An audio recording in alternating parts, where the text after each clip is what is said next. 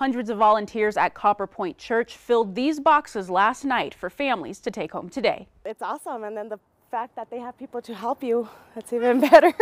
1,000 Thanksgiving meals ready for families to take home. It's great. I mean, it's you're thankful for it, just having to have a free meal on Thanksgiving Day. Copper Pointe Church, along with several different vendors, made it possible for their annual Holiday Hope event. We're going to be doing this for years to come. Like I, like I said, this is something that we've done for years, and this is one of the things that we hang our hat on as a church, and we love investing in our community. Well, items were loaded into boxes Sunday night and put into this truck, and now they're ready to be given out to Albuquerque families. Not only are they getting a turkey this year, but they're also getting a full Thanksgiving meal. We have pumpkin pie in there, we have uh, green beans, we have corn, uh, we have cranberry sauce, stuffing, gravy, uh, potatoes, you name it, they have it for Thanksgiving. Volunteers from Copper Pointe Church were part of every step of the process, from packing the boxes to loading them up, carrying them to families' cars. Where would you guys like it? In the trunk. Trunk? Okay. And even delivering them to some people's homes. Thanks for everything, and thanks for all the help and everybody that actually